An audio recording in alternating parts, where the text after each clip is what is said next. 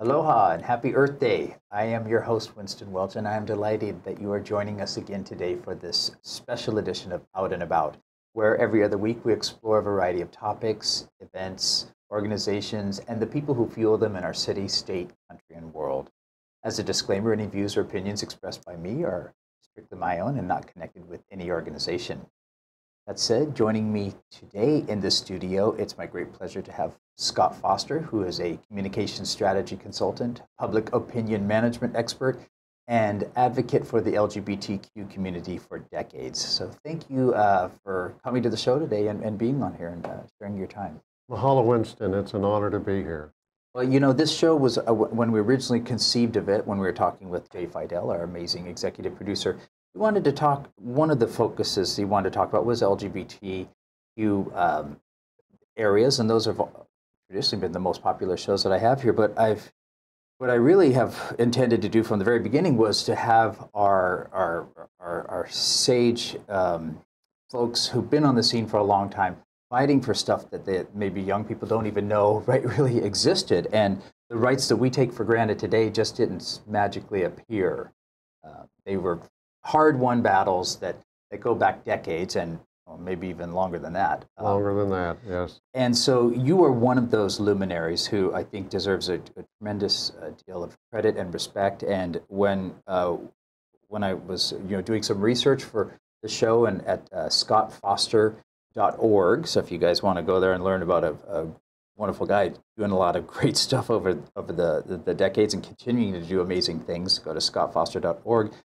uh, I found that you, I don't know, would you say that you became an accidental advocate or um, how did you get started in the whole movement of, let's concentrate specifically on LGBT rights, or maybe in those days we just maybe said gay rights? Well, uh, quickly, um, I'm from Oklahoma originally. Grew up there, was there until I was 42 years old. And uh, that uh, Oklahoma is the Bible, the, uh, the, the buckle of the Bible Belt, as they call it. And uh, uh we had, uh, we were all very closeted, had to be. But there was a large, very active LGBT community there. And uh, I'll, I'll use the, the term gay with the capital G, mm -hmm. LGBTQ whatever, whatever banner you stand under. Yeah. Uh, gay is, is shorthand. Shorthand. Okay. Uh, uh, when Stonewall happened, uh, that was the first really, it opened all of our eyes that we were not alone. Because Stonewall was the first time in history that, that gay people had actually stood up and fought for their, fought back against the police. And fought back against the police for, for what? For those folks that don't know what Stonewall is, which there's a number of them out there, what was the, that? The Stonewall Bar uh, was and remains, uh, uh, in fact, President uh, Obama uh, uh, was talking about making it a national monument. Mm -hmm. I don't know if that happened or not. I don't think so, but it's, it's still there, in New York City, in the village. And it, the day, of, coincidentally, of Judy Garland's funeral. Okay. The very day. The very day of okay. Judy Garland's funeral, the, the cops uh, raided the bar. Now, in, in those days, you could be arrested for just being in a gay bar. Right. Stop there. Yeah. You know, or start there. Uh, and uh, it was a large group of, of uh, TV TS people and drag queens and just uh, everyday gay people stopping on their way home from Garland's funeral for a drink. And all hell broke loose. The, the fight went on, and I mean, it was a street fight. Police cars set on fire, holed up in the bar for two days. And uh, by the time that was over, the police had learned maybe we better start taking a different tact with gay people. And this is what year? What was Stonewall? 660, uh, I've forgotten. 68, 68, I believe. 68, 69, that. So that message went off, went around the country. Yeah. The next thing that happened was there was a, uh, uh, uh, a lady by the name of Anita Bryant. Yes. She was Miss Oklahoma. She was the darling of, of uh, uh, the nation. She had a great singing voice, was very, very popular. She became the spokesperson for the orange juice industry in Florida. And she was also a radical Christian fundamentalist right. Mm-hmm. And she started a proposition in Florida to fire all of the gay school teachers. Right. Because of Stonewall, I believe, for the first time, gay people around the country rallied and sent money to Florida to help. And this is before the internet. So oh, yes. maybe did- before, took before out the an- fax machine. Yes. Yeah, right. Before cell phones, they took out a paper check and they maybe saw an ad in uh, the Advocate magazine or some some Yes. local publication and said, "This is where you can send money." So that started it. Well, somewhere in there, uh, uh, Harvey Milk had been elected a few years later. Uh, Harvey Milk had been elected in, in San Francisco. Mhm. And uh, the uh, gay community was really on a political roll. We defeated Anita Bryant, and this was a big deal. I mean, this was like taking down a saint. Yes. This was a big deal. And then the same thing, she moved her, uh, her uh, focus on California. They tried to do the same thing there. And we, again, the community around the country rallied and we stopped it. Now, uh, I was in Oklahoma City. There was a great gay community there, but you still couldn't be out. I started on, started on the road traveling. Uh, my original career was in the entertainment industry. I managed, uh, uh, uh, well, the music industry, actually, pop music. I managed uh, the sales and marketing of 105 different labels, including all of Motown and Wow. London Records and Atlantic, and I had all the big pop hits of the of the late '60s and '70s. Oh, fun. So I was sort of out of Oklahoma until my parents' health started failing, and I had to come back. And uh, uh, then AIDS hit, and uh, our community was organized well enough by then to bring a very prominent doctor whose name escapes me from California to show us slides of Kaposi's sar- sarcoma. Mhm. Shortly after that, now we're talking about 85, Yeah. I moved to LA. I was there for two years in the entertainment industry. It was a very sad time to be in California. Yeah. In Los Angeles, people were dying right and left. You'd meet someone or close a deal on something, and the next thing you know, they were in the hospital or dead. Yeah. So I moved to Honolulu basically to get away from as much of it as I could because I'd been very involved with the movement on the mainland to do something about AIDS. Government was ignoring us. And I got to Honolulu and there wasn't even a newspaper here. So this is about 88 or something like that? no, this was 85. 85, okay. So I volunteered with what was then the, Lesbian and Gay Community Center. Okay. And I, that's when I began my writing in earnest. Okay. I'd always been a pretty good writer, but uh, all of a sudden I was writing about AIDS. We were doing fundraisers. We were going to the Capitol. We were lobbying for, for money. And Hawaii suddenly became very well organized politically. Unfortunately, we lost many of those people during the pandemic before the, cocktail.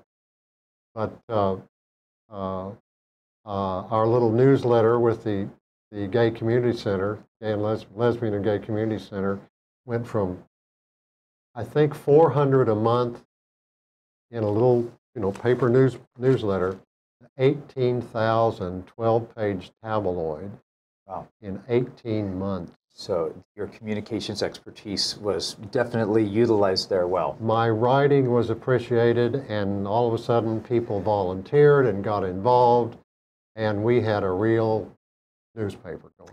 Do you think that it was actually AIDS that really? Uh, so we have the Briggs Initiative. It was in California, was Right. it? And then, uh, uh, then the with Anita in Florida orange juice. They kicked her off that being spokesperson. right. Uh, Harvey Milk was murdered. Harvey Milk was killed, and so you have some awareness and Stonewall, and so this is the '70s and an era of kind of freedom overall and, and testing boundaries all, all across the place, whether it was women or, or ethnic minorities or whatever it was. You had this sense of uh, maybe freedom and chaos at the same time, It and then was, yes. AIDS hits hard, Yes. right? And do you th- do you attribute really the galvanization of our modern LGBT or gay identity, but uh, the shorthand gay, um, to the uh, the pandemic at that time? Uh, more than that, actually. To me, in fact, uh, we were talking earlier about about that film, uh, When we rise, When We Rise. yeah, I saw it, and this is what came out in that film. Was it was the rise of the women's movement, the continuation of the black movement, peace movement, Martin Luther King, et cetera, et cetera, and then the gay movement coming together hmm that created the modern Democratic Party. We all joined forces under the party. Now, in Hawaii, what was a, a wonderful thing happened because up until some point, uh, everyone thought that uh, AIDS was just a gay male disease. Uh-huh. And then women started getting it. And that's when, to their great credit, the lesbians in Hawaii, for the first time, began communicating closely and working with the men's community. Because as you probably know, uh, we tend to be in two separate groups, which is too bad. Uh, it's not like it once was. There's certainly uh, the um, millennials doesn't make any difference to them. But at that point in time, it, that was a big thing. Yep. The women coming together and did heroic work right along with the many heroes that were of that day. All right, so and I think that was true nationwide that we, that we saw, especially lesbian women stepping up and saying these are my gay brothers, and uh, we are we're, we're both oppressed in our different ways, but these folks need help right now, and we can I- identify, sympathize with them more than your average Joe. Absolutely. Absolutely. So the modern coalescing and bringing together of what you think of the modern Democratic Party, the peace movement, um, uh, Oh, yeah. Certainly the peace movement was part of it. African American uh, women, Chicano movement, even at that point, or Ch- Latino, or it was different names, It was, Hispanic, it was fledgling, but Fledgling, it was there. and the yes. gay movement. And so you have all these things stirring together and creating a, a rich soup of, of Yes, sort of exactly. liberation. And then we get into the 90s with big hair, a little bit more repression. President who doesn't mention AIDS until the word AIDS until what 87 or something crazy like that. I mean, it was many many years until Ronald Reagan mentioned that. Uh, I don't think Reagan ever mentioned it. It was Bush the, the first was the first mention, and and uh, uh, I think Barbara had her picture taken with an, an AIDS baby. That's right. Yes, I do remember that photo where she had her her picture taken with a baby, and that's how they sort of humanized it. This this wasn't a, a gay disease. This was a human disease. We uh, created a chapter of the Names Project, which is the AIDS Memorial Quilt for those that, that are too young to remember that.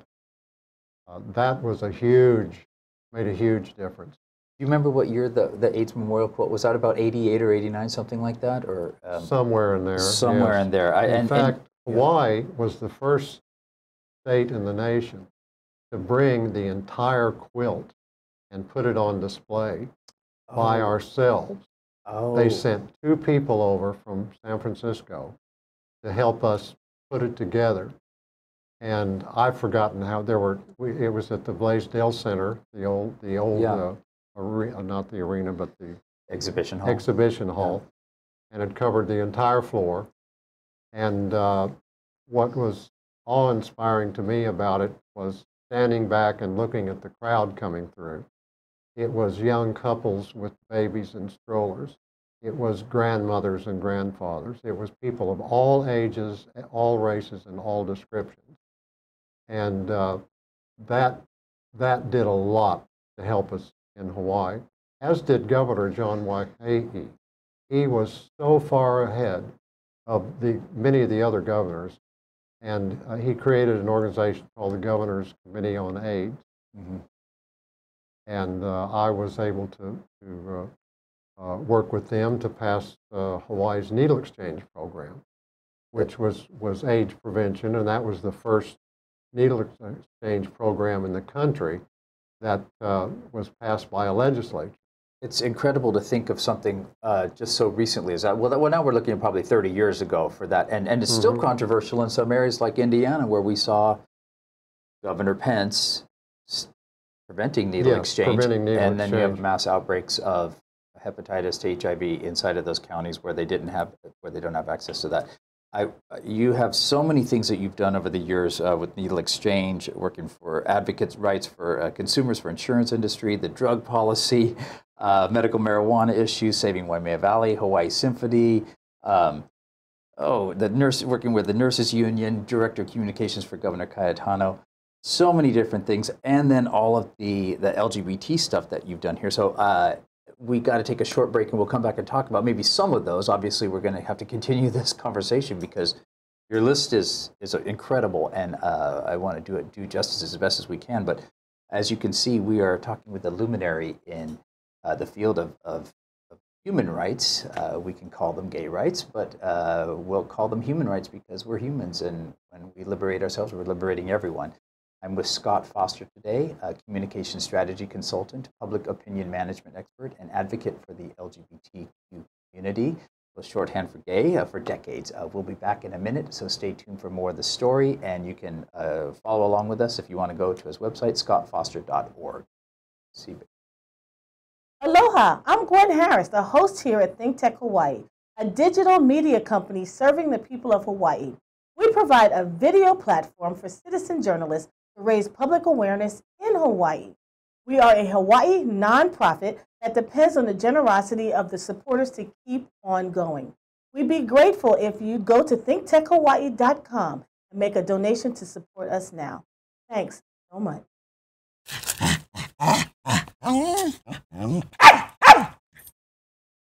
Hi, I'm Rusty Komori, host of Beyond the Lines on Think Tech Hawaii. My show is based on my book, also titled Beyond the Lines, and it's about creating a superior culture of excellence, leadership, and finding greatness. I interview guests who are successful in business, sports, and life, which is sure to inspire you in finding your greatness. Join me every Monday as we go beyond the lines at 11 a.m. Aloha.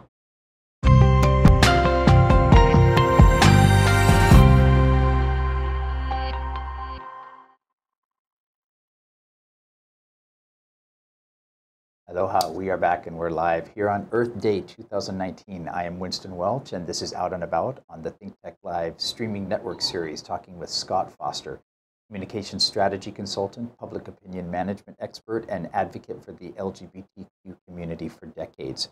So, as we mentioned right before the break, uh, you you'd had this sort of background working with uh, with the community in, in, in various facets without specifically going into some of them. But uh, one of the things I, I was curious about uh, did you ever come out to your parents and, and talk to them about that? Was that a discussion you were able to have?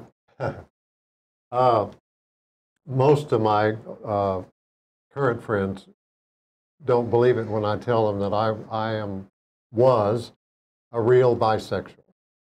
I had great relationships with women. I Yeah. mean, very enjoyable to the point of near marriage once. Yeah. And the only reason I didn't is I met Charlie, Okay. and I'll leave it at that. but I knew that uh, I didn't want to ruin her life, and it was a very, very unhappy breakup. But uh, I didn't tell her. I just kind of broke it off. Okay. As far as my parents were, were concerned, it, it, in those days, if you didn't have to, there was no reason to Mhm. because they wouldn't have understood it, and I just didn't. I had come out to myself, though, Mhm. which is the most important part of it. And how old were you when you were able to make that realization? Uh, 22, 23. Okay. Yeah, it's and that's the most important one, like you said. And there's a certain generation where they just they couldn't understand. It. Does that mean you're going to put a bowl on your food and dance around in a in a you know in a, Exactly. a tutu, or what does that exactly mean? And I think probably, as we all know by now, everyone is somewhere on the Kinsey scale Uh-huh. um, of that. I think he does a two to seven, but I would Yeah. maybe shrink it from a, or a one to seven, but maybe it's really a two to five on there. But Yeah. you all can decide for yourselves where you are on the Kinsey scale. But that's why uh, we have this acronym of the LGBTQ, or as we were saying during the break, the new the new one is the SOGI, sexual orientation, gender identity, because the young people today, and you probably didn't see this one coming, is the uh, the younger than the millennials, or the millennials and younger the zennials. Like I'm not sure what we're calling them. Um, they're they're not even identifying as a gender, um, or they're gender fluid or agender, um, Yes. or, and, and and they don't want to be put in any sort of box at all, whattogether at all. But for our generation, I think it was important that you classify yourself as one thing. So while you may identify with the B in LGBT, you politically had to identify with the G. Um, Well, Hawaii uh, was, very, was and remains very unusual in that people used to say that the only, the only uh, gay leadership in Hawaii were haoles from the mainland because they could come out, their families were on the mainland. The locals in Hawaii, very difficult, uh, depending on the community you're from. So that has always been a difficulty in Hawaii and still is. It's it uh, uh, now maybe maybe the the uh, millennials won't have that problem quite as much. We have changed public perception, thank goodness, to the point that uh, the day will come. But with this new right-wing administration in Washington, I read just yesterday there are three gay cases headed to the Supreme Court right now that could take away job protection, for example, and begin chiseling away not only that, but women's rights as well. And the women are, are gearing up that fight. Well, you said this with the transgender uh, being. uh, We went from don't ask, don't tell in the military to it's okay to be gay, and then for transgender folks too. Oh, yes, proudly serve your country, and then you have that flipped on your head and say, Yes. uh, so let's not be complacent here, folks. Your rights are. If you're not fighting for them, then they're going to be lost because it's all about public perception and how easy it is for someone to manipulate your your thinking here. So, I, as a, as someone who has managed public opinion, you you can also see that the Constitution's only as strong as we all stand up and make it as strong as it can be. I put it this way, uh, to quote myself, if you're not playing the, gar- the great game of politics, then you're being used as a pawn by someone who is. Well, we have a master communicator right now in the White House. He is able to underst- He is able to get into the psyche of people and really. I don't know how he does it. Um, I would say hypnosis, but he's hitting the nerve of people so that he's. That's still. It doesn't matter what he does.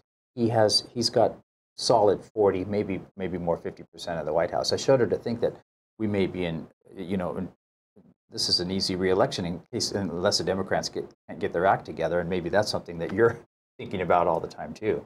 Well, that debate, of course, is going on as we talk. Uh, what what they they plan on, how they plan on moving forward. I don't know. Uh, I, I was with a, an old school friend actually who was over visiting last week, and, and she is a uh, uh, has her PhD in psychology, but she's also was a teacher, and she taught. Uh, she began teaching in Arkansas, and uh, we were discussing this very thing. Why are they attracted to Trump? She's, she pointed out, in addition to, there have just been a lot of people left behind. Mm-hmm. NAFTA, so many factories closed, the rust creation of the Rust Belt, nothing took their place, the so-called flyover states, Rise of minority power, yes, all of those things. women's rights. and the uneducated who don't read the newspapers and only watch Fox News. It's they've been there all along. It's just someone came along like Donald Trump who could, as you said, reach them. and speak to them very clearly. And I think it's important, I think, to to realize that these are people of goodwill and uh, and are quality people that that they're seeing something in him that that that we need to address, um, and not in the bad way, but in the good way. And I, I think that uh, Pete Buttigieg, uh, who is now number three in the polls, Amazing. quickly rising. Yes, I think he's going to pass uh, Bernie Sanders and Joe Biden pretty clear here. And he says the same thing. He was reelected 80% in a red state in Indiana, right? And uh, 80% of his electorate, uh, re- after he came out, elected him, uh, reelected him mayor, which I think is, uh, an, it just shows you how far we've come as a people. That maybe the gay issue isn't important as we thought it was. Um, I don't, I don't know what his chances are, but he says these are good people. They voted for the Donald for different reasons, and those reasons are the reasons we have to address, not Yes. the Donald himself. And I think that that might be true. Let's not forget the Catholic Church and the Mormon Church, especially in Hawaii. Especially in Hawaii. Well, uh, you know, and, and, and again, on those things, we've seen religions changing too. Even the, the, the, the Mormons, they've been changing their opinions over time uh, very slowly and not to our, our satisfaction, but it, it, it has shifted, as you've seen as well with all mainstream denominations. And I think to this point, where the Methodists are going to split off and create their own American version of it because Yes. they just said, we can't stomach this, this discrimination and, and hatred anymore because that's what we're really looking at. And you know, you've been involved in this long enough. I just wonder what is your what are your thoughts about uh, Pete Buttigieg? I wanted to get that out there because I, do you think that he stands a fighting chance? Is he too young? Is he too um, uh, too not gay enough? Too gay? Um, you know, what do you what do you think about him? Well, the one thing I know is, is I don't have a clue, simply because things are changing so quickly. Uh, the very fact that, that he exists and is out there saying the things he's saying, uh, brilliant young mind, handsome, uh, uh, able to have his husband there with him, all of those things. Uh, we'll see. We'll see. I, I, I would vote for it. Yeah, well, you know, he's he. I think what, what I read in one thing. What is it that we like about him? Yes, of course, the American people are we're, we're reasonably shallow people. I said it's it depends on your necktie color. You know, it has to be blue or red, solid colors. Don't do don't do pinstripes or, or stripes or pinwheels or anything. It's just solid colors there. So he's got the the, the looks, the charm, the brains, um, the, the adoring uh, spouse, right? And uh, and he's also so articulate. He's been and he's a, a veteran. He's uh, you know Rhodes Scholar. So and he's got this executive experience. I'll be excited to see where this goes. We we've got so many great candidates in the field. Let's see if any of them can rise up against us because uh, for all the things that you've been that you have that you've worked on, and I would love for you to come back another time and talk um, about more of, of what you've done because we just have barely touched on this, but I want you to talk about your mentors. When we when we have another show, um, you've mentioned Joe Napoli, uh, uh, Napolitan and, and AQ McElrath and, um, and and and others uh, who have been influential on you, and I would love to talk about that another time. But for right now, um, I know you wanted to give a shout out to LGBTHawaii.com. So folks go to LGBTHawaii.com. It is the state's oldest and largest LGBT community political action organization, and Scott is the founder of that. You can find out more about Scott at scottfoster.org. And unfortunately, as as our Think Tech shows are always too short, um, we are out of time for today. So will you come back again and talk more about this and many other issues um, that are Be happy to. uh, uh, in, in your heart and in your mind. I, I would love that. So thank you so much for, for being here today. And like I said, I really, uh, you're someone I can look up to and admire as, as, a, as a role model for me. So I appreciate uh, you setting Well, an example. Thank you so much. You're very kind. Well, it, it's, it's, it's meaningful and, and important. And unfortunately, we are out of time, and we have to wrap it up there with uh, luminary in, the, in, in, our, in our human rights arena here. I'm Winston Welch. This is Out and About on the Think Tech Live streaming network series. We have been talking just a little bit with Scott Foster, communications strategy consultant, public opinion management expert, and advocate for the LGBT and human community for decades.